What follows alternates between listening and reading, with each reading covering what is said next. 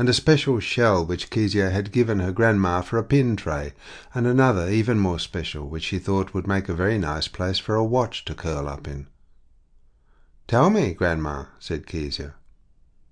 The old woman sighed, whipped the wool twice round her thumb, and drew the bone needle through. She was casting on.